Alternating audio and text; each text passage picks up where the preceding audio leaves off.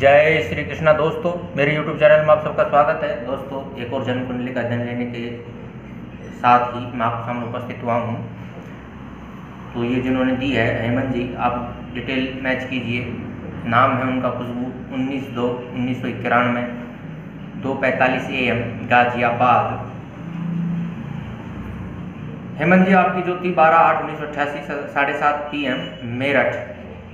आप दोनों की जन्म कुंडलियाँ मेरे सामने उपस्थित है, आप भी देख रहे हैं, देखिए। राहु आपके लगन में है, कुंभ लगन है, कुंभ लगन के स्वामी शनि। इनकी जो है वृश्चिक लगन है, स्वामी मंगल। तो सप्तम भाव योग के बारे में आपने पूछा तो बुद्ध और केतु बैठे हैं सिंह राशि में। और सिंह राशि के स्वामी सूर्य चंद्रमा के साथ बैठे हैं कर्क राशि में। सूर्य कर्क राशि में अच्छा फल नहीं देते पितृदोष का निर्माण कर देते हैं चंद्रमा के साथ में बैठकर अमावस योग का निर्माण कर देते हैं। मैंने वीडियो डाला हुआ है कि सूर्य चंद्रमा बैठ जाते हैं तो ये अभावग्रस्त जीवन रहता है, कोई ना कोई ना कोई दुख अवश्य रहता है जीवन में। और ऐसे इंसान को धोखे बहुत मिलते रहते हैं, काफ़ी दुखी रहता है। शुक्र पंचम भाव में अच्छा फल नहीं देता, शुक्र इनके भी उच्च का होकर बैठा है पंचम भाव में, अर्थात प्रेम वाले भाव में। तो राहु की दृष्टि पड़ी है सप्तम भाव पर तो ये एक बार सेपरेशन अवश्य करवाएँगे। केतु भी जहाँ बैठ जाता है, उस चीज़ को छुड़ा देता है। केत छुड़ावे खेत, और बुद्ध के साथ में बैठा हुआ है। कुंभ लगन के हिसाब से बुद्ध सही है, लेकिन कर्क राशि होने से बुद्ध यहाँ राशि स्वामी के, चंद्रमा के शत्रु हो गए तो ये आपको अत्यंत पीड़ा देंगे प्रेम में और वैवाहिक जीवन में। तो ये अलगाव अलगाव की स्थिति अवश्य पैदा करते हैं। ये आपको लगा लीजिए कि 90 परसेंट वियोग की स्थिति उत्पन्न करेंगे, डिवोर्स तक लेके जाएँगे, अलगाव पैदा करेंगे और सूर्य की आपके मादशा चली हुई है। सप्तमेश है प्रबल मार्केश होते हैं, सप्तम भाव का स्वामी और राहु, शनि और सूर्य की वैसे भी कम है। तो सूर्य यहाँ सेपरेशन करवा सकते हैं और वैसे भी पीड़ित चल रहे हैं। तो एक तो पितृदोष का निर्माण हुआ, अमावस दोष का निर्माण हुआ तो ये आपको डिवोर्स की ओर प्रेरित करेंगे। शुक्र की महादशा थी, जब ये सेपरेशन हुआ। शुक्र जब प्रेम देते हैं, प्रेम के दाता हैं तो अगर वो पीड़ित होते हैं शुक्र भाव शुक्र पंचम भाव में अच्छा फल नहीं देते। तो ये जब पंचम भाव में बैठते हैं तो उस चीज़ को जब दे सकते हैं तो पीड़ित होकर उस चीज़ को छुड़ा भी सकते हैं, ले भी सकते हैं। तो प्रेम में दुख का कारण आपके शुक्र और बुध हैं।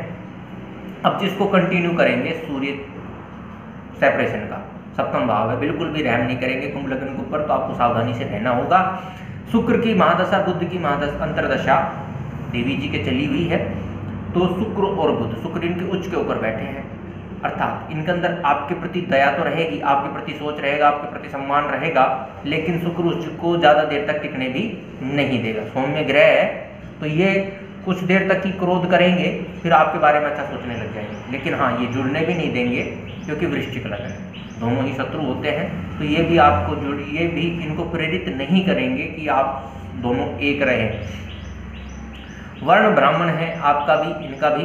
गण राक्षस है आपका, इनका देव है। नाड़ी अंत है, इनकी भी अंत है।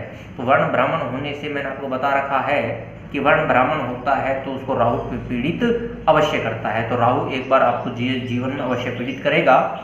नक्षत्र आश्लेषा बुद्ध का है, नक्षत्र रेवती बुद्ध का है, दोनों का नक्षत्र वही बुद्ध का है।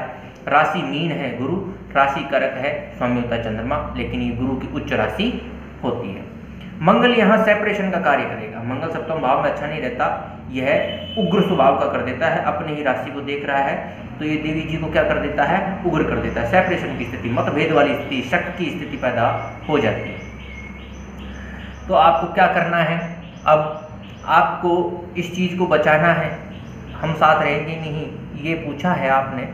तो इसके लिए आपको मेहनत करनी होगी, वरना जो ग्रह बता रहे हैं, वो अलगाव की स्थिति बता रहे हैं। लेकिन आप अपने कर्म से, आप अपने पूजा पाठ से सब कुछ सही कर सकते हैं। कर्क आपकी, कर्क राशि से अभी राहु जो है, बारहवें भाव में, अर्थात मिथुन राशि में है।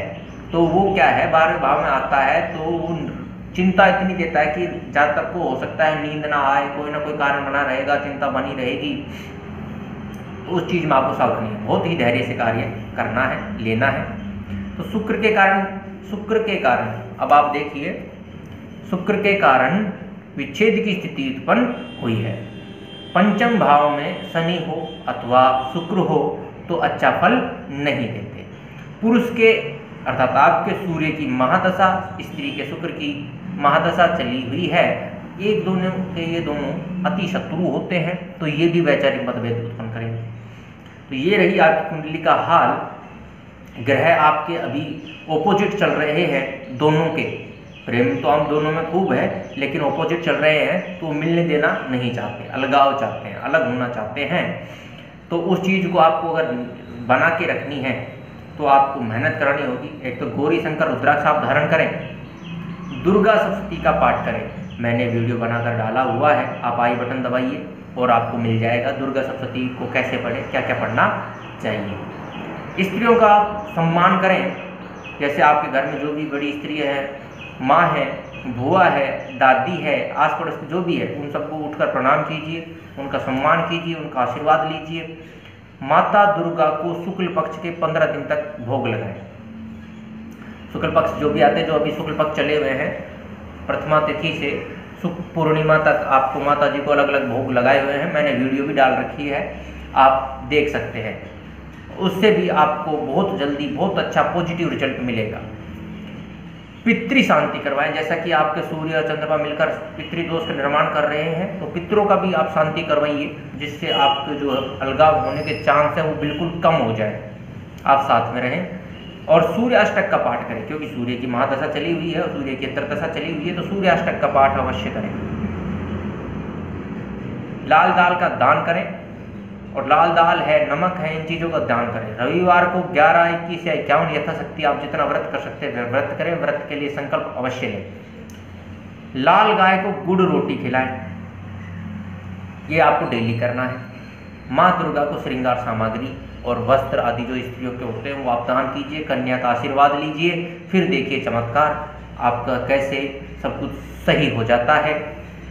और नवरात्रि आ रही है। नवरात्रि में किस अध्याय का जाप किया जाए? नवरात्रि में किस अध्याय का जाप किया जाए ताकि आपको जो जीवन में आने वाली परेशानियाँ हैं, वो भी ख़त्म हो जाए और आप दोनों कभी भी अलग नहीं होंगे। वो मैं आपको बताऊँगा नवरात्रि में। तो आप जुड़े रहिए और ज़्यादा से ज़्यादा लोगों को आप जोड़िए, टारगेट बनाइए, ज़्यादा से ज़्यादा आपको लोगों को जोड़ना है ताकि वो ज्ञान प्राप्त कर सके। क्योंकि अभी पितृ पक्ष चलने वाला है, श्राद्ध पक्ष चलने वाला है, उसके बारे में भी मैं वीडियो डालूँगा। तो आप बस इतनी ही कीजिए कि ज़्यादा से ज़्यादा से ज़्यादा वीडियो को लोगों तक पहुँचाइए। फेसबुक पर व्हाट्सएप पर इंस्टाग्राम पर आप शेयर कीजिए।